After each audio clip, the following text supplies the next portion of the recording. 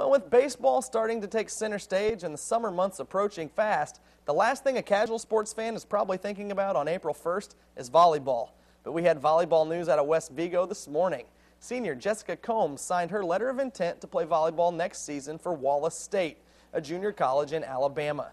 Combs holds the record for West Vigo for most kills in a season with 323. She did that in her junior year. Combs told Sports 10 a big factor in her decision is the warm weather that she hopes to find in the South. And the senior, who has frequented the honor roll many times during her tenure at West Vigo, said she's always wanted to play college volleyball and understands the benefits of getting a scholarship. It's great. Um, less stress on my parents, less stress on me. Um, something I love to do. Getting a scholarship's amazing, and I just want to do well and not only focus on volleyball but my studies too. Of course, we wish Jessica the best as she continues her career at Wallace State.